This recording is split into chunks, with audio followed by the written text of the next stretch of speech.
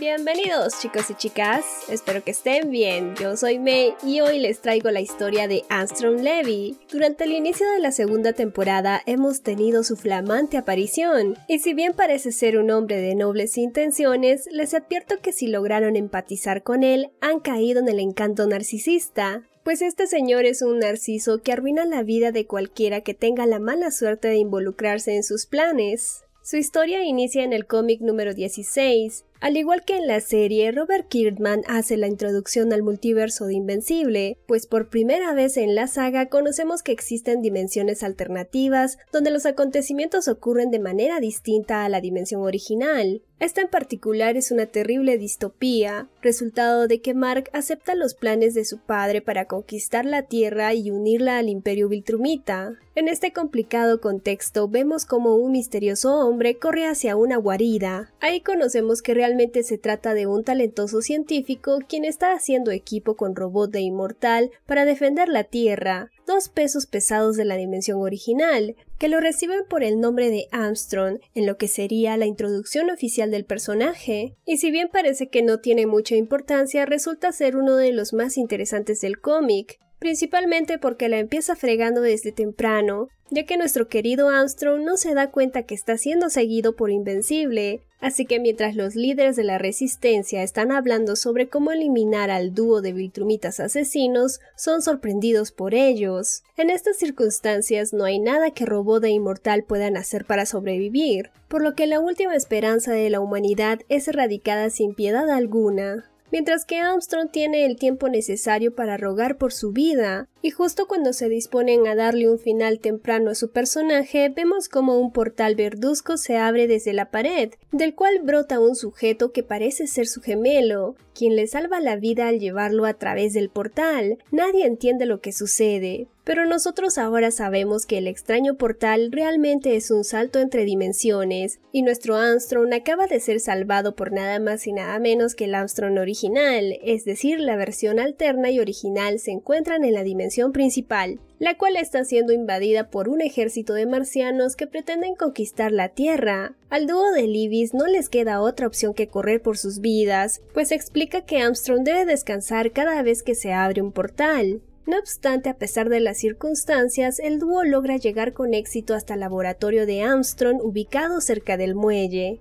Ahí la historia continúa y al entrar a las instalaciones nos damos cuenta que Armstrong original tiene hasta 26 versiones de sí mismo haciendo absolutamente nada, y lo siguiente que conocemos del personaje es en el cómic número 17, donde usa sus poderes para rescatar a los gemelos Mowler un dúo de científicos entusiastas que resuelven los problemas que nadie puede resolver. Se especializan en el tema de la clonación, pero su ciencia trasciende los límites del conocimiento. La intención de Armstrong es usar su ingenio para potenciar sus habilidades, de modo que les comenta que la razón de su rescate es porque necesita su colaboración para resolver las limitantes en sus poderes. Armstrong dice tener dos habilidades, primero que solo puede abrir portales hacia otras dimensiones, y la segunda que no tiene ningún conocimiento sobre las dimensiones a las que viaja, y su intención es reparar esta segunda deficiencia con la ayuda de los gemelos. Para eso los lleva al muelle donde los Mauler conocen a sus versiones alternas. El plan de Armstrong es unir todas las conciencias de sus versiones alternas en su cabeza, pues esto le daría el conocimiento necesario para hacer algo verdaderamente útil con sus poderes, mientras que los Mauler aceptan la propuesta porque consideran que es un desafío que les ayudará a expandir su conocimiento, y demuestran ser unos verdaderos entusiastas pues construyen la máquina en 12 dimensiones diferentes en apenas dos semanas. Lastimosamente estos gemelos están siendo buscados por la ADG,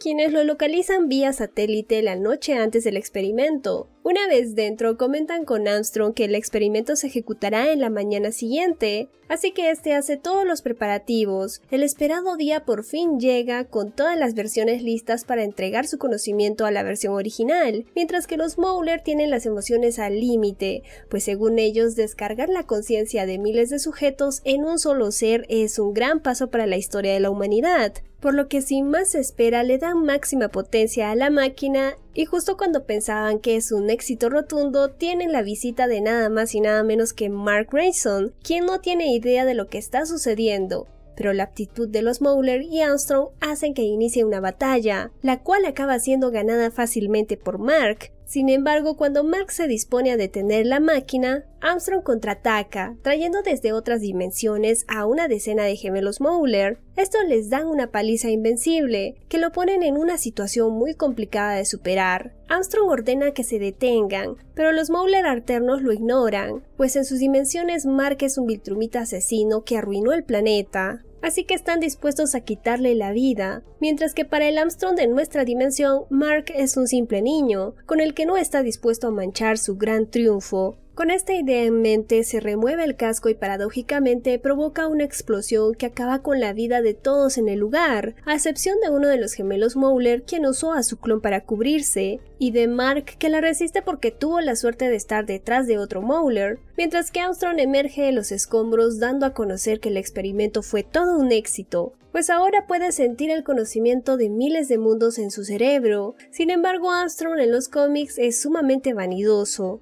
y cuando percibe que ahora su cuerpo está desfigurado producto de la explosión, entra en cólera y culpa a Mark por ello. A diferencia de la serie, en los cómics a este Armstrong poco le importan las vidas inocentes de sus versiones alternas o del daño que provocó. El narciso solo se centra en su físico, donde establece una mentira que seguirá repitiendo en los siguientes años, pues se dice a sí mismo que fue Mark quien rompió la máquina y lo provocó. Por ende, quien hace nada era un niño, ahora es el máximo responsable de la tragedia que ahora es su vida pues una característica innegable de una persona narcisista es su imposibilidad de asumir responsabilidades por sus acciones, y esta mentira hace que él evada cualquier responsabilidad sobre los eventos. Para Armstrong solo le importa el mismo, por eso cuando abandona la zona para buscar ayuda médica en otra dimensión más avanzada, demuestra que no le importa para nada la vida del Mauler, quien hace apenas unos segundos lo acaba de sacar de los escombros. A Levi solo le interesa su venganza contra Invencible, por eso la siguiente vez que sabemos algo de él es en el cómic número 32 donde el enfermo acude a la casa de Mark y aprovecha que éste no se encuentra para golpear a su madre y esperar pacientemente su llegada. Mark llega a la escena y ahí sufre enormemente por contenerse.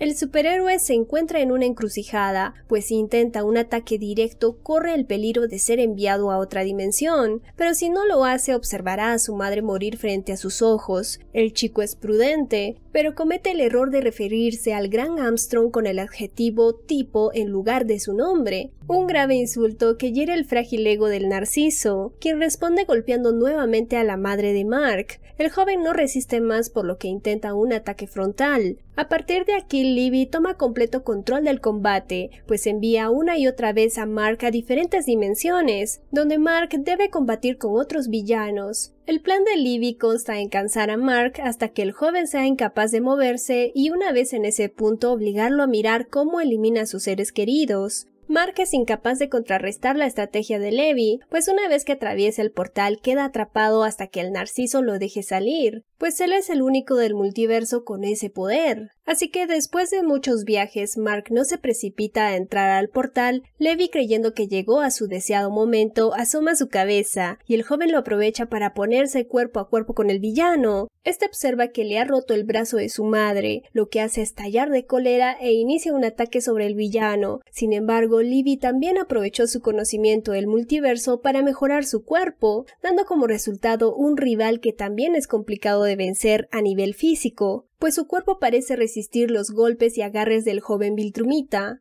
Mark al notarlo decide combatir con todas sus fuerzas, dándole un golpe en su cabeza, que extrañamente le hace mucho daño. Ciego por el enojo, este continúa golpeando hasta que Mark se encuentra sobre un mar de sangre. Una vez que sale de su trance, el joven se da cuenta del desastre que ha hecho con Levi. El villano solo tenía resistencia aumentada en su cuerpo, su cabeza seguía siendo vulnerable, pues no encontró en el multiverso un especialista médico que se atreviera a tocarla. Mark, arrepentido por sus acciones, queda en estado de shock. El chico nunca había usado su fuerza de esta manera, nunca la había utilizado para arrebatar una vida, un evento sumamente traumante para el personaje, quien ahora camina sin rumbo, pues se encuentra atrapado en una dimensión de la cual no tiene escapatoria. Solo intenta alejarse de los restos de Armstrong que quedan esparcidos en el lugar. Sin embargo, a pesar de los graves daños, Mark no se percata de que Libby aún le queda algo de vida. El villano aprovecha el descuido para abrir un portal en la dimensión de los tecnócratas, estos tipos que habían reparado su cuerpo después de la explosión, a quienes no le queda otra opción que mirarlo al estilo de Vito Corleone, para después con una expresión de compasión extrema atender sus heridas y hacer hasta lo imposible por salvar la vida de Levi, pues como mencioné antes, esta es una dimensión donde una especie tecnócrata domina la Tierra y desarrolla tecnología muy avanzada que es capaz de curar sus heridas físicas. Así logran sanar a Armstrong Levy de manera exitosa, por eso la siguiente vez que vemos al villano es 20 entregas después. En el cómic número 51, Levy está completamente recuperado y retomando su venganza contra Mark, Ahí usa la tecnología de los tecnócratas para vigilar al muchacho. Ahora desea ser más prudente y reunir la información necesaria para doblegar al joven. Sin embargo, a los pocos días, Mark logra percibir la presencia de estos orbes capturando uno de ellos. Y si bien al inicio piensa que se trata de una vigilancia de Cecil, Robot le comenta que es una ciencia demasiado avanzada para que sea de este mundo. Mientras que nosotros ahora sabemos que Levi ha estado bastante ocupado reuniendo versiones alternativas de Mark para invadir la Tierra, en un total de 16 versiones, cada uno más despiadado que el anterior. Todos ellos son versiones que han hecho cosas terribles en sus dimensiones, debido a que estos acudieron al llamado de Armstrong con la promesa de expandir sus imperios hasta incontables dimensiones. Así que apenas un mes después del primer encuentro entre Mark y Armstrong, la Tierra recibe el peor ataque de toda la saga. Sin que nadie lo espere, 16 Marks invaden la Tierra con órdenes de destruir todo a su paso. Las principales ciudades del planeta caen en cuestión de minutos. Cada superhéroe hace lo mejor para disminuir los daños, en lo que denomina la Guerra de los Invencibles. Cuatro días de sanguinarias batallas en las que la humanidad logra eliminar ocho de las versiones de Mark, mientras que el lado de los héroes ya cuenta con múltiples bajas que hacen imposible una defensa del planeta. Ahí Armstrong es quien pone solución al conflicto, pero no para hacerse el héroe, sino porque el tipo dividió su plan en fases, donde la primera era hacer esta guerra de invencibles con la única intención de dañar la reputación de Mark. Gracias a la información que recopiló, sabe lo mucho que le importa al joven el bienestar de la Tierra, Así que su respuesta lógica fue destruir ciudades por completo para hacer que toda la humanidad lo odie. De esa manera, una vez que sus versiones alternas destruyeron las principales ciudades de la Tierra, este los envía a una dimensión alterna imposible de sobrevivir, pues producto de una guerra nuclear no existe nada más que Tierra, mientras que Mark en la dimensión original llega a su encuentro contra Armstrong y no duda en iniciar la pelea. Armstrong se encuentra confiado en que su tecnología hará el trabajo por él. Sin embargo, Mark durante este mes ha aumentado su poder a tal punto que los orbes de Levi son juguetes para niños, haciendo que el Narciso no tenga ninguna opción contra el chico. Y justo cuando decide acabar con la vida del villano, Levi logra huir del lugar por medio de un portal. No obstante, Mark es extremadamente rápido capturándolo de vuelta, a lo que Armstrong no le queda otra opción que perder su brazo para lograr escapar. Y una vez que Armstrong vuelve a la dimensión de los tecnócratas, planea contraatacar con los ocho invencibles que dejó en la dimensión desolada, en lo que sería un golpe devastador para la Tierra y una situación que sin duda acabaría con la vida de Mark. Sin embargo, los tecnócratas, cansados de los planes sin sentido de Libby, le exigen que sus promesas sean pagadas, y al ver la debilidad de su líder, se rebelan convirtiendo a Armstrong en un esclavo, hasta que cumpla todas sus expectativas. La guerra de los invencibles por fin llega a su fin, mientras que Libby reaparece hasta el cómic número 65, donde los tecnócratas le construyen un brazo mecánico. Ahí le anuncian que tienen grandes planes para él. Esta civilización tiene importantes limitaciones físicas que lo mantienen en la Tierra, por eso requieren de la colaboración de Armstrong para destruir sus cadenas y llevar a su civilización al siguiente nivel. Así que la única solución para Armstrong es colaborar con ellos hasta que estén satisfechos. Desafortunadamente para él, esta especie es sumamente exigente, por lo que tarda algún tiempo en lograr todo lo que ellos esperan de él. De modo que es hasta el cómic número 98 donde Armstrong vuelve a tener protagonismo. Parece que estos años de esclavitud le han sentado perfecto a los tecnócratas. Ahora se observa una Tierra muy distinta y desarrollada, mientras que Livia está cansado de esperar. Según sus palabras, ha recorrido la galaxia para hacer crecer esta civilización, por lo que ahora él considera que es tiempo de su venganza. Los chicos Tech le quitan su mala crianza en tan solo segundos, pero para su sorpresa acaba siendo liberado por estos, pues al fin están satisfechos con el trabajo de Armstrong. Este no puede creer la noticia y lejos de superar el pasado, vuelve la burra al trigo y empieza a planear su venganza. Armstrong regresa a la dimensión original, sin embargo la Tierra es muy distinta a como lo había dejado. Han pasado incontables eventos y amenazas que Mark ha tenido que superar. Recientemente un antihéroe llamado Dinosaurus, amigo de Mark, destruyó Groenlandia, lo que provocó que muchas ciudades inundaran y millones fallecieran. También hizo creer al mundo entero que había eliminado Invencible, por lo que el principal problema de Armstrong es que según los noticieros ya no existe un Invencible del cual vengarse. Con esa noticia la vida de Libby pasa a ser plena. Sale a correr por las mañanas, sonríe y disfruta la libertad. Empieza a amar la vida hasta que tiene la terrible suerte de encontrarse con una mala noticia que Invencible está vivo, de modo que no se dejen engañar por su aparente sonrisa. Libby sigue enfermo de odio. Esa misma mañana se dirige a casa de Mark donde sorprende y secuestra a Aton Eve, quien ahora se encuentra embarazada. Durante el arco se explica que no debe usar sus poderes durante la gestación por el bien de su futura niña. Esta condición hace que Eve sea una ciudadana indefensa ante las enfermas intenciones de Levi. Felizmente Mark no tarda llegar a casa. Sin embargo, este de nuevo se encuentra en las mismas condiciones que el pasado. Si ataca a Levi, este lo enviará a otra dimensión, mientras que si no hace nada, se arriesga a ver cómo el villano elimina a Eve y a su futura hija frente a sus ojos. Así que de nuevo decide atacar, y este es enviado a otra dimensión, más específicamente a la dimensión a la que Armstrong envió a los ocho invencibles de la Guerra de los Invencibles.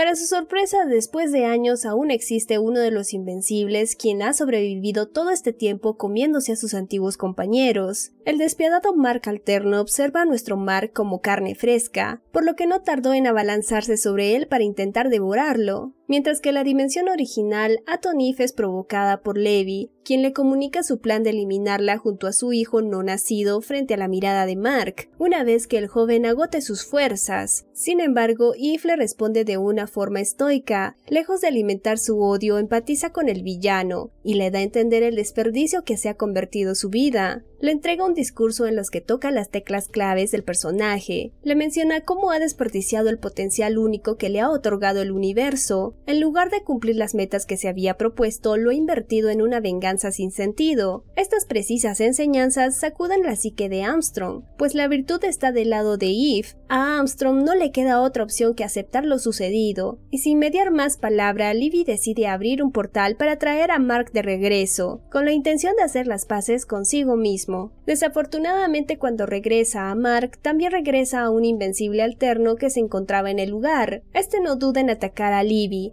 sin embargo Armstrong logra ponerse al control de la situación, pero le explica lo equivocado que estaba respecto a sus acciones. Ahí decide rendirse e incluso comenta estar dispuesto a pagar el castigo necesario por los crímenes que cometió con la esperanza de que algún día pueda cumplir los grandes planes con los que había soñado alguna vez, impactar al mundo con su don y su conocimiento para hacer del planeta un lugar mejor, y como gesto de buena voluntad abre un portal para que el Mark alterno también pueda volver a su dimensión. Un error fatal, pues este Mark no tiene noción de lo que significa la bondad ni el honor, por lo que su respuesta es llevarse consigo a Armstrong a traición, con la promesa de que él sí sabrá castigarlo. De esa manera la historia en la Tierra continúa, sin embargo, Mark no está nada contento con que Libby siga suelto viajando de dimensión en dimensión, y teme enormemente que algún día vuelva para terminar lo que Mark cree que no está terminado. Con esta idea en mente, le pide ayuda a Robot para que éste desarrolle la tecnología necesaria que les permita viajar entre dimensiones, y así casar a Armstrong antes de ser casados por él. Y a pesar de que Eve se opone tajantemente al plan, Mark decide llevarlo adelante. Algunas semanas después, Robot contacta con Mark para indicar que todo está preparado. Los dos cruzan el portal, llegan a la dimensión en la que se encuentra Armstrong, pero son recibidos por nada más y nada menos que Conquest, quien los lleva con su emperador el Mark Alternativo. Ahí son recibidos con cierta hospitalidad, pues Mark Alterno aún se encuentra agradecido porque nuestro Mark lo ayudó a escapar de la trampa de Levi. Así que él está contento con responder sus preguntas y llevarlos al lugar donde se encuentra retenido el ex villano. Sin embargo, cuando llegan al sitio sus expresiones cambian. Mark y Robot no pueden creer el despiadado castigo que Mark Alterno está ejerciendo sobre Libby. Ahora el pobre está siendo retenido y torturado por científicos que intentan extraer sus poderes a la fuerza. Robot cansado de la enfermedad mental de estos Mark alternativos toma control del asunto y decide de una vez por todas acabar con la vida y el sufrimiento de Armstrong Levy quien muere tristemente sin haber cumplido ninguno de sus grandes propósitos. Todo su extraordinario potencial, único en todo el multiverso, se desperdicia por seguir el camino de la venganza. Ya lo decía el emperador y filósofo Marco Aurelio, la mejor venganza es no ser como ellos. Sin embargo, Armstrong decidió todo lo contrario. Permitió que las personas que él creía que le hacían daño tomaran el control de su vida y sus acciones. Por eso, paradójicamente, se volvió igual de despiadado que ellos, perdiendo su esencia en la venganza y lastimosamente recapacitando demasiado tarde pues ya su destino estaba escrito, pues nos enseña las consecuencias de no tener una filosofía de vida establecida. Armstrong Levy es el personaje con más potencial del universo y muere sin lograr absolutamente nada. Sin embargo, en el cómic número 144 tenemos la aparición de su hijo. Tristemente, el niño está atravesando todo el multiverso en busca de su padre, al cual sabe que no va a encontrar, pues ya empieza a sospechar que fue borrado del multiverso, por lo que queda la esperanza de que el niño sí logre superar los obstáculos de la vida y logre lo que su padre siempre soñó, impactar a la humanidad y cambiar las injusticias del mundo. Y eso es todo lo que sabemos de la historia de Armstrong Levy. Recuerden que todos los jueves haré directos en Discord para ver el estreno mundial de los episodios Invincible. Muchas gracias a todos por llegar hasta el final. No olviden apoyar con un comentario sobre lo que les pareció la historia y sus opiniones sobre la temporada. Nos vemos muy pronto, un beso a la distancia, chao.